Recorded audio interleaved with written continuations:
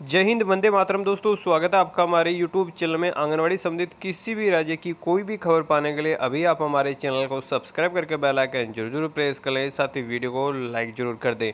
जी हाँ, दोस्तों, बहनों को लंबे समय से यही इंतज़ार है कि कब तक बहनों को सम्मान काम सम्मान वेतन, साथ ही कब तक बहनों को प्राइमरी टीचर का, आपका सम्मान वेतन मिलने वाला है। साथ ही बहनों को सरकारी कर्मचारी का दर्जा कब तक मिलेगा? इसके अलावा सेवानिवृत्ति की आयु है, वो बहनों की कब तक बढ़ने वाली है?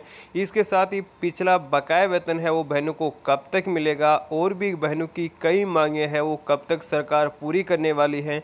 बहनों को सरकार अठारह हज़ार रुपये का मानदेय, साथ ही सहायिकाओं को है वो नौ हज़ार रुपये का मानदेय है, वो कब तक देने वाली है? कब तक सभी राज्यों में केंद्र, साथ ही राज्य सरकारें हैं, ये चीज़ लागू करने वाली हैं। तो इस वीडियो में सभी राज्यों की हैं आंगनबाड़ी संबंधी न्यूज़ हम देखने वाले हैं। तो इस वीडियो को आप अंत तक ज़रूर देखेगा, साथ ही वीडियो को लाइक ज़रूर कर दें। अपने साथी बहनों के साथ भी इस वीडियो को ज़रूर ज़रूर शेयर करें। और अगर आप हमारे चैनल पर नए तो चैनल को सब्सक्राइब करके बेल आइकन ज़रूर प्रेस करें क्योंकि लगातार है देश भर की जो भी आंगनबाड़ी संबंधी न्यूज़ होती है, हम अब तक सबसे पहले पहुंचाते हैं।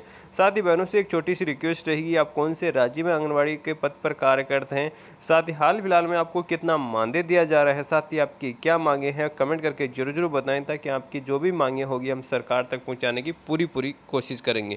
तो दोस्तों, पूरा डिटेल से सभी राज्यों की बड़ी खबरें देख लेते हैं। आंगनबाड़ी कर्मियों को पंद्रह हज़ार, आशाओं को दस हज़ार वेतन मिले। राज्य सरकार में सरकार से मांग। जी हाँ दोस्तों राज्यसभा में बिजू जल दल के एक सदस्य ने आंगनबाड़ी और आशा कर्मियों के मानदेय वृद्धि करने की मांग करते हुए बुधवार को कहा कि उन्होंने कोविड नाइन्टीन महामारी के दौरान भी निरंतर कार्य किया है। बीजेद के सुभाष चंद्र सिंह ने शून्य काल में यह मुद्दा उठाते हुए कहा कि कोरोना वायरस महामारी के दौरान लगातार सुरक्षित दूरी बनाने, हाथ हाथ धोते रहने, साथ ही मास्क पहनने की परामर्श दिया जा रहा है। इस दौरान आंगनबाड़ी साथी, आशा कर्मियों ने अपनी जान की परवाह किए बिना लगातार है।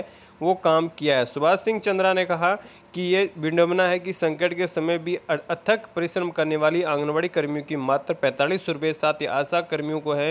वो पच्चीस सौ रुपये भी मानदेय मिलता है। जो महँगाई उनकी सेवाओं को देखते हुए बहुत कम है। बीजेपी सदस्य ने कहा कि ओडिशा में राज्य सरकार ने कर्मियों को कुछ राहत दी है, लेकिन आपकी राहत पर्याप्त नहीं की जा सकती। उन्होंने सरकार से मांग की है कि आंगनबाड़ी कर्मियों को मानदेय बढ़ाकर आपके पंद्रह हज़ार रुपये, साथ ही आशा कर्मियों का मानदेय बढ़ाकर दस हज़ार रुपये किया जाए। उन्होंने कहा कि केंद्र सरकार की आंगनबाड़ी कर्मियों साथ ही आशा कर्मियों के लिए विशेष पैकेज की घोषणा करनी चाहिए। तो लगातार हम भी दोस्तों मांगे उठाते रहते हैं और बहनें भी लगातार मांगे उठाती रहती हैं। हम बहनों की जो भी मांगे होती हैं, उनको सपोर्ट भी करते रहते हैं। भुगतान की मांग को लेकर आशा कार्यकर्ताओं का कलेक्टर पर प्रदर्शन। जी हाँ दोस्तों, पूरा न्यूज़ देख लेते हैं। मेरठ का न्यूज़ है, भुगतान की मांग को लेकर सोमवार को ज़िले की आशा कार्यकर्ताओं ने कलेक्टर पर प्रदर्शन किया। साथ ही प्रदर्शन के बाद डीएम के नाम ज्ञापन भी सौंपा। आशा कार्यकर्ताओं का कहना है कि वह लॉकडाउन के दौरान बावजूद आपके लगातार कार्य कर रही है, साथ ही प्रति निर्धारण से अधिक कार्य भी उसको द्वारा किया जा रहा है। विभाग द्वारा विभिन्न कार्यों के लिए आदेश दिया जाता है और उनमें बराबर रहकर कार्य कर रही है। गत एक अक्टूबर से चल रहे दस्तक अभियान में उन्हें भुगतान के बारे में जानकारी जानकारी दी गई, लेकिन इनमें से उसमें भी नहीं किया गया, यह स्थिति अब अन्य कार्य में भी है। यानी लगातार हम भी मांगे उठाते रहते हैं कि बहनों को न्याय मिलना चाहिए, बहनों को जो सम्मान काम सम्मान वेतन है, उसका फ़ायदा मिलना चाहिए।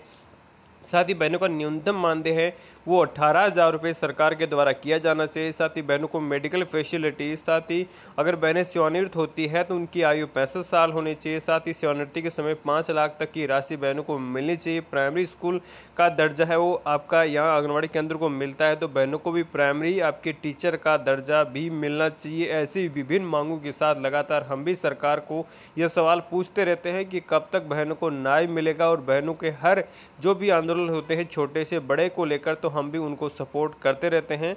तो आप हमारे चैनल को सब्सक्राइब कर लीजिए, बेल आइकन प्रेस कर लीजिए, साथ ही वीडियो को लाइक और शेयर ज़रूर कर लीजिएगा। दोस्तों, मिलेंगे नेक्स्ट वीडियो में नई खबरों के साथ, तब तक ले जय हिंद, जय भारत।